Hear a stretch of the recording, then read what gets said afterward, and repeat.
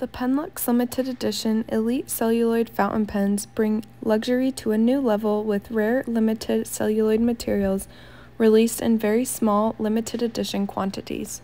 Each pen comes in these black and blue gift boxes and the pen comes inside this Ziploc bag with information about the pen.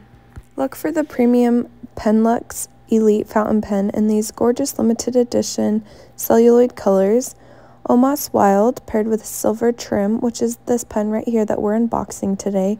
And then the two other colors are maple green paired with gold trim and lapis blue paired with silver trim. Each Penlux Elite fountain pen is fitted with a German Jowo number 6 stainless steel nib, and each of these pens are available in varying nib sizes and plated to match the pen's trim. These pens are postable and they use a piston filling system with a 1.5 milliliter ink capacity. Now let's take a look at the other two colors. This one is the maple green and then this last one is the lapis blue. Make sure to check them out at penchalet.com.